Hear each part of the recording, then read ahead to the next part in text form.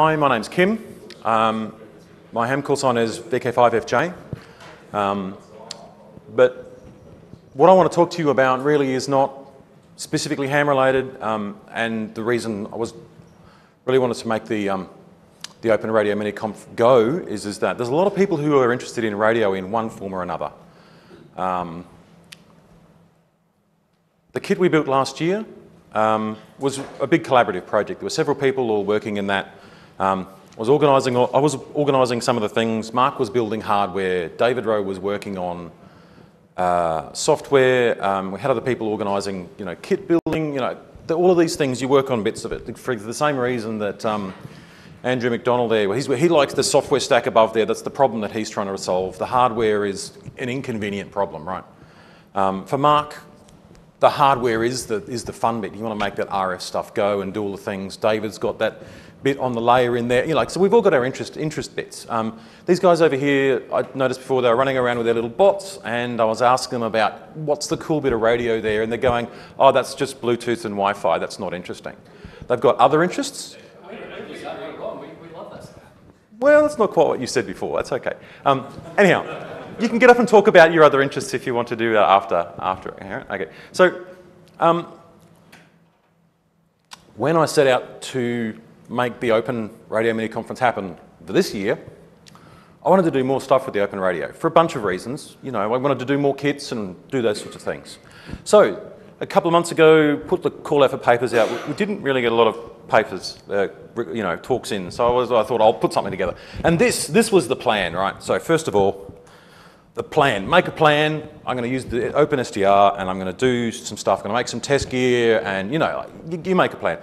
Now, various things happen. Um, uh, the open radio is really designed around HF. It's, you know, 3 to 30 megs, that's really where it's focused at. I mean, it can output higher, but you can't receive higher. This is the way it's designed. You take the clock, you divide it by 4, so you've got 150 megs up the top, you divide it by four, and then that's really what you can receive it. You can transmit it higher, and that's, you know, it's possible to do VHF stuff. Um, and then I started going a bit more into design and looking at the stuff, the, the, the test equipment out there that's interesting. Because when you, when you start building stuff with radio, you need to go, is that doing what I expect it's doing? And um, Andrew McDonald had that little, little Yagi antenna there with a bit of, bit, of, bit of wood and a bunch of uh, wires hanging off it, a little Yagi antenna. I found a design on the net and I built it. Was it even remotely on the right band? Was it performing even close to what we wanted? We don't know. We haven't got the measurement gear to even come close to working on 900 megs. Um, you know, we can we'll build some stuff ourselves and things, but it's hard to do those things unless you go and buy a commercial kit. And I don't really want to go and spend two, three, four, five thousand dollars on commercial kit to look at 900 megs because I'm not really interested in 900 megs. But the point is, is that you can do some of this testing. You can do some of the testing, the test equipment for this yourself, if you, you know, pick a specific thing that you're interested in and going, okay, we'll focus on that. And at the time, HF made a lot of sense to me. But, you know, with the sunspots declining in this next round, it's a few years until HF's going to be picking up again in a good way. Maybe you should start looking at UHF. And so I went, all right, open radio might not be the right thing for this uh, particular talk, even though it'll do some of the things. And it's a good radio for doing specific things. Um, so I wanted to play more with, with HF, sorry, with VHF. So I, I built some antennas. I don't have test gear for that. So um, at the time I was looking, putting the talk together, I went, right, what kits are there out there that I can get VHF test gear to do specific things? And the short answer was the, some radio clubs do short run kits and no one had any stuff available. Oh, I'll have to go and build one myself. That means learning gEDA or, you know, any the KiCad and the, doing the PCB runs and organising that stuff and I was running out of time in a, in a big hurry. So, um, and one of our local hams, Eric, he said, look, I've designed a bunch of kits. I've got some PCBs. You're going to have to go and source some material. All right, cool. So um, oops, plan B. Think about VHF, think about all of those things, uh, all the factors, and if I wanted to do kits for the conference, um, I'm going to have to go and source all this and, and, work it all out. So the problem with Plan B was that about that time we found out no soldering irons on campus. Without soldering irons, we can't really assemble kits. Um, okay. Plan C. All right, so let's do VHF stuff, use the existing kits, um, work out something else for a conference talk and all those sorts of things. You know, I've got to work out what the, what the other things is. So every time I come to a conference, every time, anytime I come to do anything to do with radio, you're interested in this particular thing, but then you've got to go and solve that problem to solve that problem. You end up with this big dependency chain of all of the things that you, material you've got, material that's problem you want to solve, the stuff that's available, the kits that are there, you know, and so always these things is making the most of what's in your junk box or make the most of the kits that are out there and all that kind of stuff. So that's what this is. It, it, this, this talk is all a little bit last minute cobbled together because it is, because I've had so many things that just didn't quite pan out. Um, and so focus, what are we testing? Because, you know, you've got to have a specific purpose for doing all of these sorts of things. And um, I've been doing a lot of stuff, I've been interested in the fox hunting, and so I wanted to do stuff with two metres and 70 centimetres and, and six metres, so there's a couple of bands there, and so I thought if I focus on two metres and, and solve that problem, then I can move on to those other things. So that's, that's kind of what, that's where I got to. All right, so you have to test, like I said, you want to test this thing for two metres, but you need all these other things. So eventually you build a piece of test equipment, and then you need to build test equipment for your test equipment. And then, you, yeah, right. So there's, there's always this recursive problem. Which is why you always end up borrowing something to test the piece of test equipment. So eventually you build a bunch of things with other people's gear and you go in that big circle because you get, you get there eventually. All right. So this is the board that Eric produced. Um, and it's an open design. It's been published. Um, VK5 HSE, you Google for that, you'll find his blog. Um, I'm pretty sure he's got the gEDA files and all the, all the hardware for that is, is open um, and available. If you want to go and make your own boards, that's a thing, but if you want to buy the boards, Eric's can sort you out. Um, so there's a couple of variations here, and this is that board. It's, it's tiny, right? It's really tiny. So if we can go and find the camera, is that going to work? All right, if I can hold it still, better yet, can we do that? That's really hard to focus. Okay, so what we're looking at is two BNC connectors, obviously one on each end, and then we have a strip line in the middle, and then we have two loops. So what we're doing with the two loops, in you know, if you've done enough radio, you know about induction. And so this strip line here will induce a current in the other strip line. And then you have a couple of resistors to get the impedance right and some sampling capacitors to store the charge and your diode to sample the RF and give you out DC output. So what we're doing here particularly um, is we're sampling the RF going one way and we're sampling the RF going the other. So this is a really useful thing if you want to test an antenna. So if you have antennas that, you know, you can do all sorts of things with antennas. Sometimes you have to be really precise. Sometimes you can get away with bits of wet string.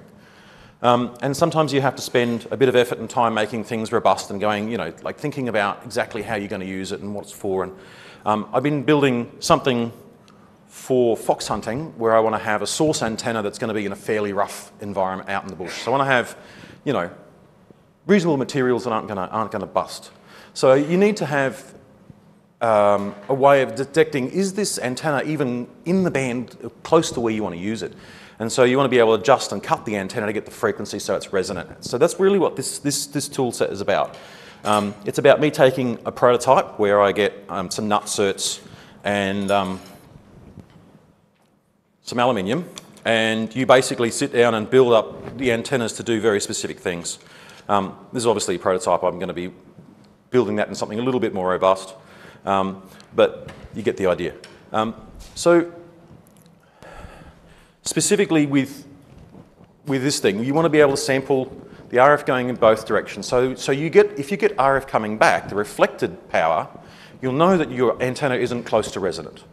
So if you want to trim your antenna, you want to be able to get it to the point where your SWR is at the lowest. The, the, the standing wave ratio of your, the RF going out and the RF coming back is at the lowest point.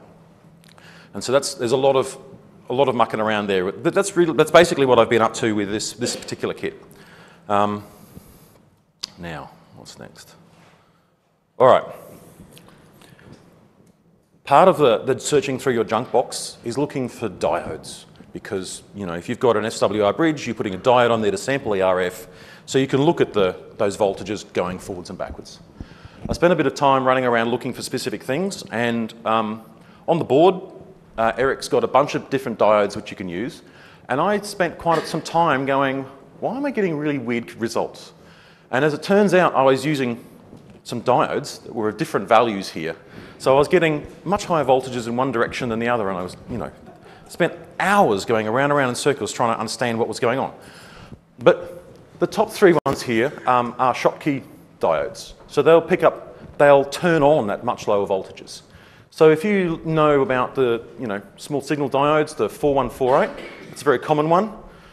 You know, it's 0.5 volts to turn on. And so some of these other ones here, 0.1 volt, that's tiny, you pick up much lower power. So you, depending on what you're measuring, you might want to change the parts you're going in. So this is part of that journey of understanding what am I testing? Can I test it with this thing? And you know, you go round and round in circles for a while. All right. Here's another go round and round in circles um, thing. So if I just duck back here, you'll see the board, right? I've got a land here to put this, the incoming coax point from off the connector. I've got a ground. Um, I've got the, the track on top. And underneath the board, I've got an RF ground. You need the RF ground in order to get the right impedance and match up all of the things, right? Um, impedance matching is about nine-tenths of radio, it seems. Um, and I built it and I put it together and I'm getting these really weird numbers where numbers are going up and down and they should be constant and all of the things. And then Mark says to me, is that RF ground grounded? no. So last night at about, I don't know, it was 11 p.m., we sorted out that problem. All of a sudden, all of a sudden, all my results became simple when we had nice straight voltages, you know, and it was, you know, problems go away. And so this, this, is, this is a thing with RF. It's about building the least thing you can possibly get away with and, but RF shielding is one of those things you need plenty of because you end up having ground loops within systems. It's, it's, it's really, really annoying. Um, and, you know, I'm a programmer, I'm a sysadmin, and I, and I live that software digital world way up there in the, in the clouds, so to speak, in comparison to the hardware. So diving into hardware as a thing and playing with this, this is such a different experience to what, you, what you're used to. So um, you always make lots of mistakes as a, uh, when you're starting to play with this as your, is your hobby.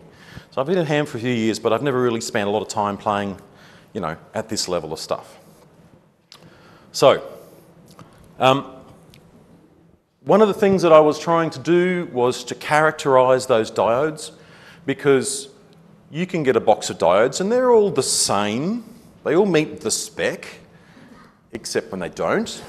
Um, and so I spent a, bit of time on another board, on another, on another project, going, I need a pair of matched diodes. And so, um, where is that number?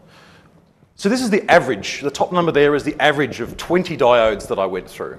And so they were as much as 25 millivolts different across the whole spec. Um, the silicon diodes can be all over the place. They can be you know, point, point 0.1 of a, a, a volt apart.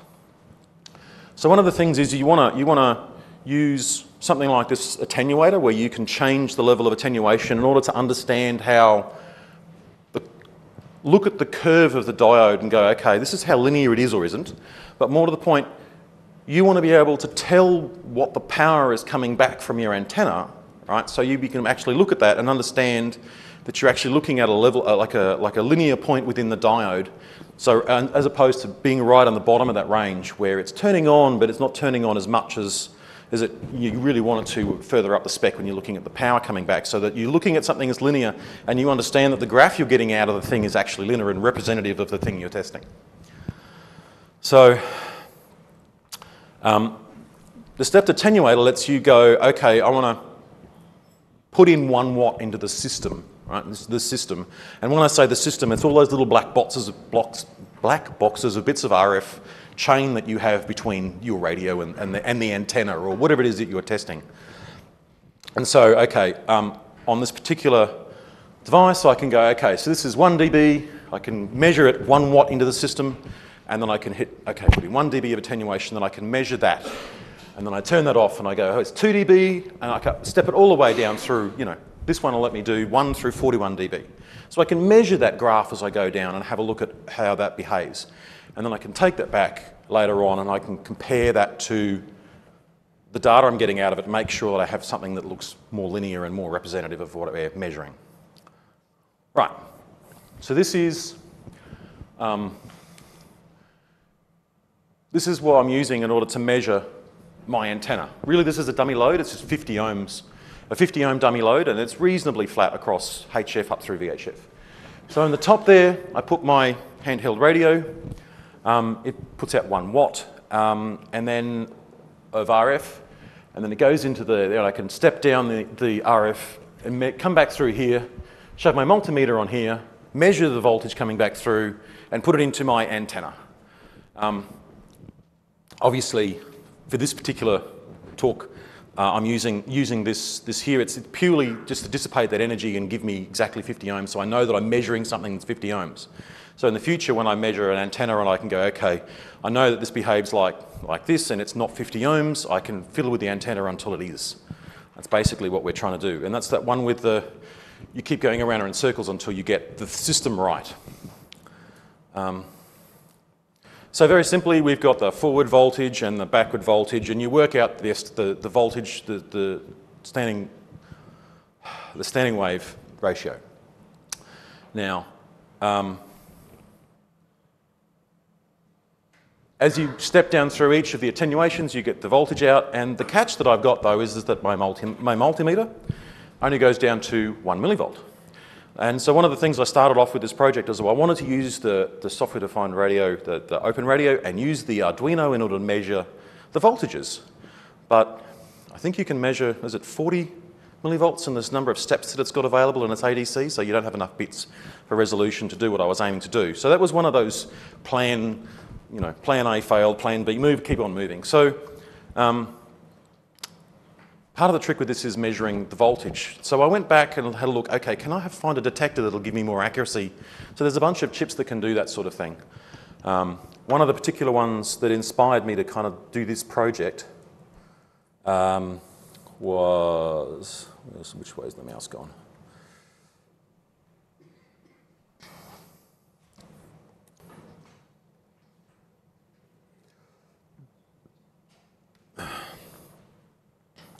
This, this particular project inspired me to start down this path because it's a problem that I needed to solve. And I thought, well, you know, this is, this is an easy way to do it. All the parts are there, so you order them online and some of them don't turn up in time. But basically here, this is what I'm doing. I'm saying, this is a, a clock chip, and here's my thing that I want to test. And then this here is the directional coupler, which is what we're building there. So the antenna there. But sometimes, sometimes what you want to do is just measure the output of this thing. So right now I don't need that. Um, right now I wanted to measure what's coming out of here. Um, very specifically, there's this chip called the AD8310, and obviously we need to measure two things. We need to measure the forward voltage and the backward voltage. Um, I've ordered one of these guys, but it hasn't shown up, so we're kind of post-Christmas rush problem. Um, but this is trying to solve the problem that the Arduino doesn't have an ADC that'll take us down to low enough volts, and this thing will measure down um, I think it's 130 dBm, but I can't remember. Minus 130 dBm.